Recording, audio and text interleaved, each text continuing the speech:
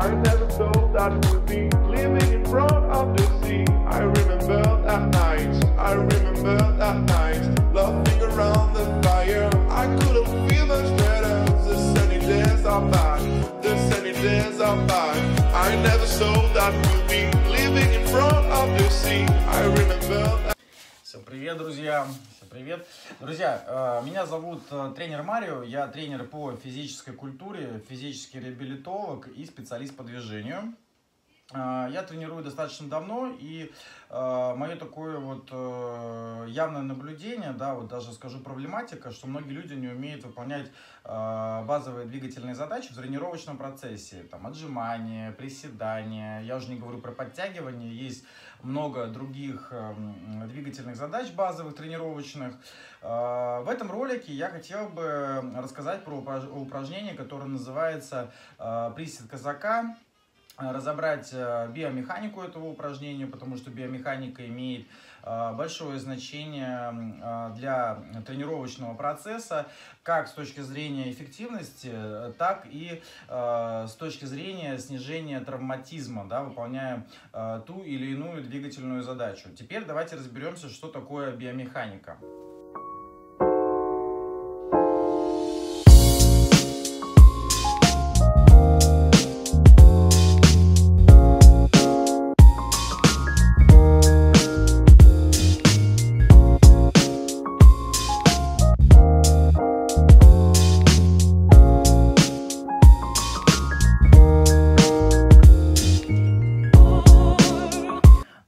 Отлично, теперь мы знаем, что такое биомеханика. Если вы знали, вы молодцы. А, Если не знали, теперь вы узнали. А, Коротко подрезюмирую, что основная задача и понимание биомеханики двигательных задач необходимо для того, чтобы наиболее эффективно справляться с этими задачами и снизить риски, связанные с травматизмом. А, Теперь мы плавно перейдем к разогреву, к суставной гимнастике наших э, ног, э, наших свободных нижних конечностей и тазового пояса, потому что именно эти участки нашего тела очень активно э, задействованы при выполнении того упражнения, которое мы сейчас с вами изучаем. Это казачьи выпады. Ну что, готовы? Погнали. Давайте начнем с пояснички. Разогреваем поясничку. Таз у нас находится на месте. Сделаем 3-4 оборотика в одну сторону, 3-4 оборотика в другую сторону и повторим это по два раза в каждую сторону, по 3-4 оборотика. Дальше мы переходим, э, разогреваем тазобедренные суставы, тоже вращаем та- тазом в одну сторону несколько раз, также делаем это э, в другую сторону. Отлично. У нас очень будет активно включаться тазобедренные суставы, поэтому нам важно их хорошо разогреть. Сейчас я поделаю э, подъемы бедра. Здесь у меня включается пояснично-подвздошная мышца, она тоже работает э, при выпадах э, казака. Хорошо. Давайте сейчас мы немножко с вами э, заднюю поверхность э, бедра разогреем. Ух, супер, хорошо. И немножко поделаем вот такие вот э, неполноамплитудные э, э, раскрытия бедра наружу и вовнутрь.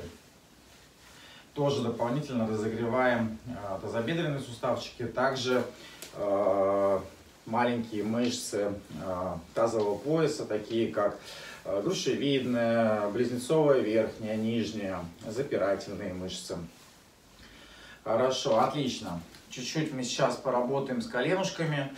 Э, Ручками придерживаю. Для чего? Для того, чтобы была большая стабильность э, в коленном суставе, чтобы колени у нас не вылетали влево-вправо. Можно аккуратненько без рук, да, но руки помогают чуть э, больше стабилизировать э, колено. Хорошо, отлично. Давайте сейчас постаем на носочки, на пяточки поочередно. Давай поделаем это вдумчиво. Тоже очень важный разогрев.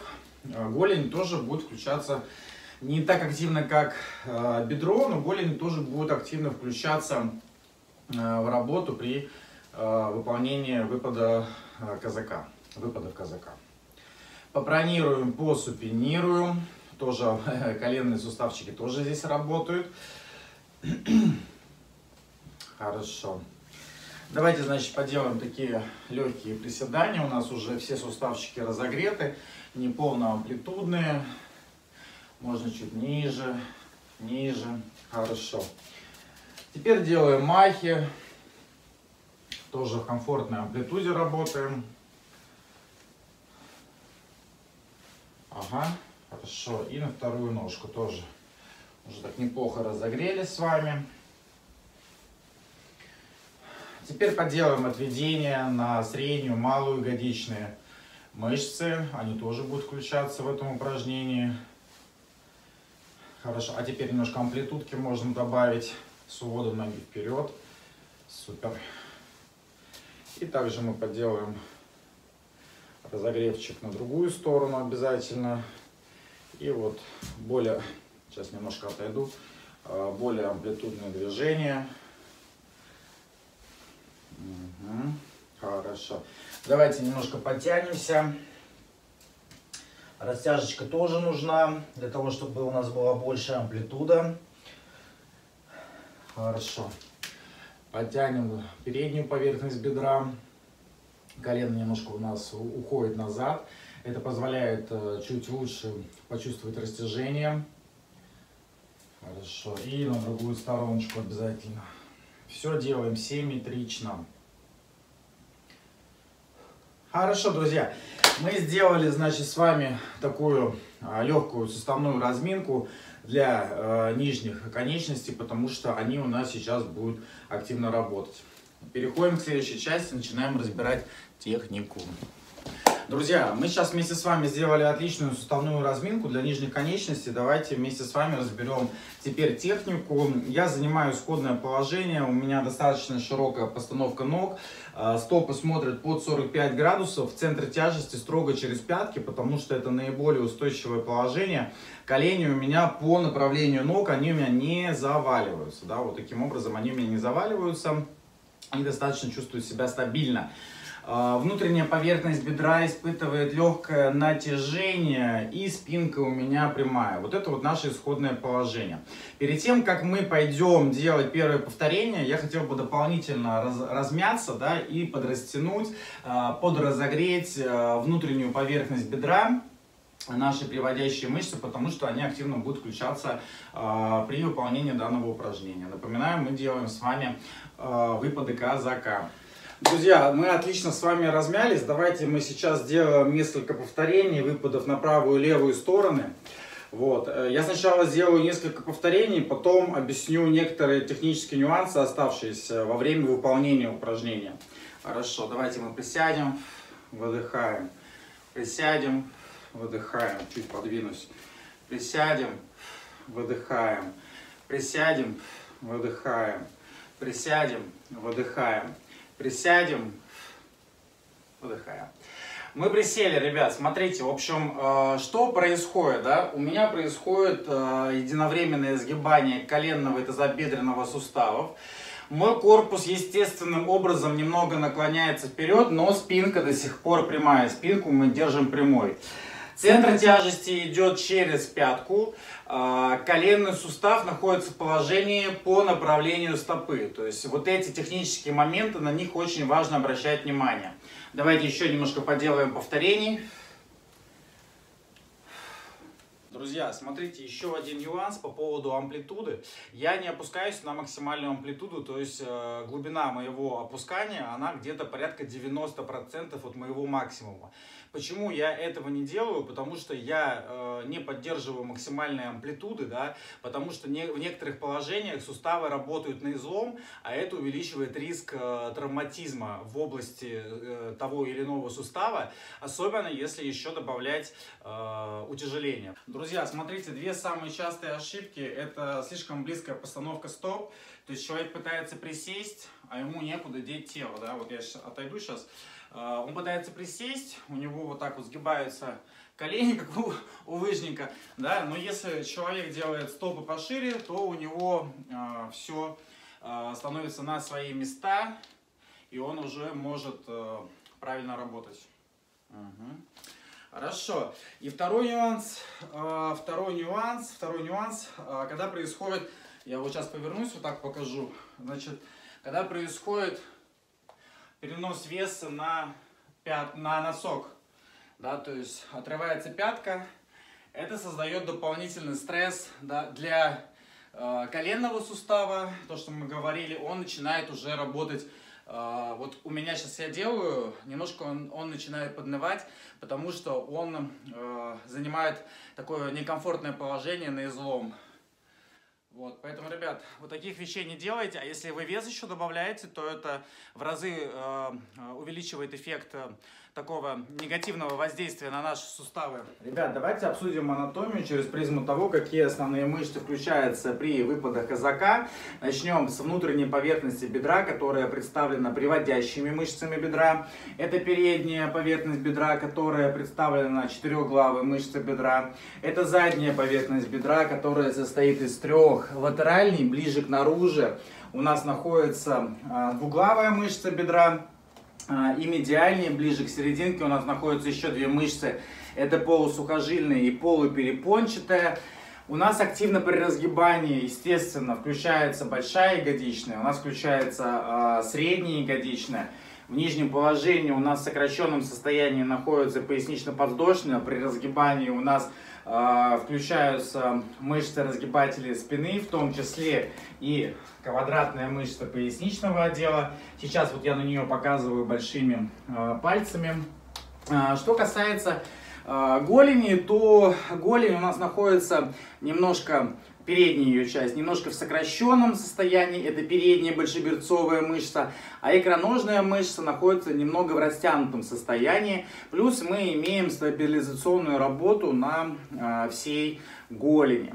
Ребят, вот анатомия, да, обращаю внимание, что э, все мышцы, э, практически все мышцы ноги задействованы. Вот отличное базовое упражнение. Двигаемся дальше. Two, three. This is just a little samba With all the typical drama Feel the rhythm of the conga This is just a little samba Yo, man, I'm living grandiose. Pumping on an ambassador, paid in full. Kill the bull like a matador. Flash the cat, make my album cover shiny. Хорошо, ребят, давайте, значит, э, мы поступим как э, хорошие ребята. Э, и после тренировки замнемся, растянем те мышцы, на которые мы работали. На какие мышцы мы работали, я уже сказал. Давайте мы их и растянем. Первое, что мы будем тянуть, мы будем тянуть э, переднюю поверхность бедра. Я одну ногу сгибаю, выношу перед собой, вторая нога у меня сзади, рукой придерживаюсь. И э, коленочку немножко вот так вот назад отставляю, да, и должен чувствовать растяжение передней поверхности бедра. И в таком положении мы находимся 20 секунд. 20 секунд.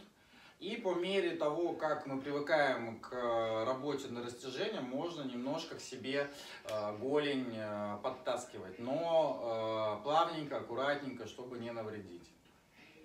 Я не буду все 20 секунд сидеть, да, я просто покажу упражнение, а вы уже дальше сами отсчитывайте. А то хитренькие такие, а? Шучу.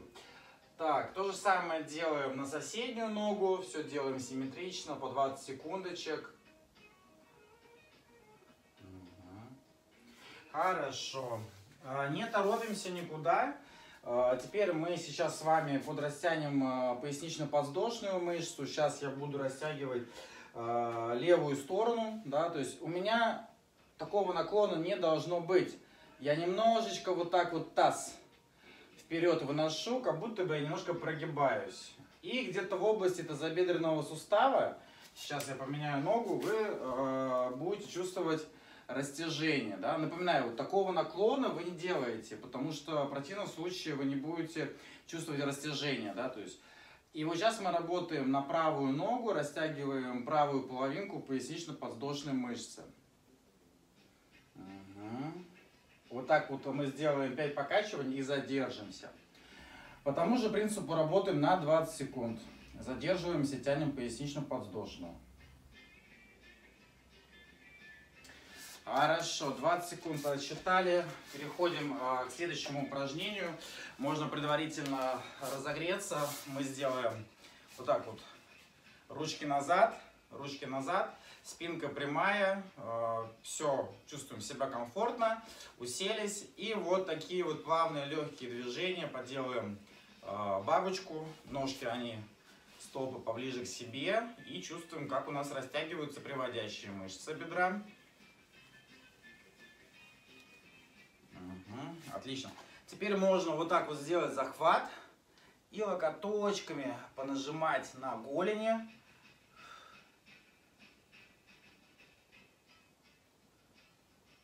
И таким образом мы создадим дополнительную э, силу на растяжение внутренней поверхности бедра. Хорошо, задержались. Давайте задержимся на 20 секундочек. Чуть-чуть потерпим еще. Отлично, вы отчитываете 20 секунд, я делаю чуть меньше. Хорошо, что мы делаем следующее? Давайте возьмем резиночку, чтобы потянуть заднюю поверхность бедра, икроножную мышцу. Так, вот так, хорошо, подвинулись. Окей. Делаем такие покачивания тоже плавненькие, никуда не торопимся. А, ощущаем такую плавно нарастающую нагрузку, работу на растяжение на задней поверхности бедра. Делаем там, 8 разогревающих э, растягиваний. И задерживаем в статичном положении ножку тоже, как вы могли уже догадаться, на 20 секунд. 20 секунд я не держу. А, также работаем на соседнюю ножку. Вы не забывайте отсчитать 20 секунд. Но я в любом случае делаю медленно, чтобы все было понятно. Такие покачивания плавненькие, нарастающее растяжение в левой ноге. И задержались, и задержались. Ножкой не сопротивляемся, ножка расслаблена. Подтягиваем ногу к себе руками. Ручки работают, да. Ручки в данном случае работают. Отлично. Давайте мы сейчас с вами э, растянем э, ягодичную мышцу. Ягодичную мышцу. Подтянем колено к себе. Задержим.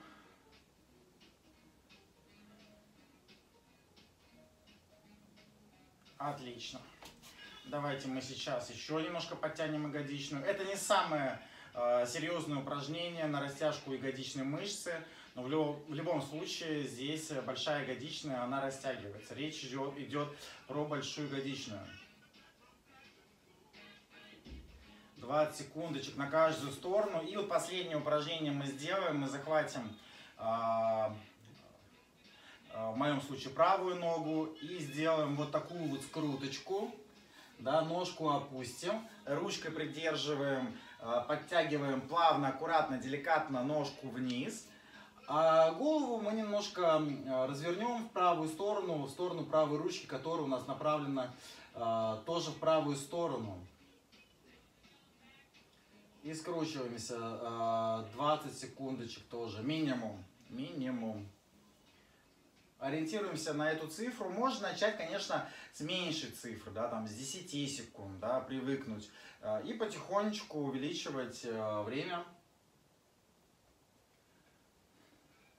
до минимально, минимального целевого времени, 20 секунд.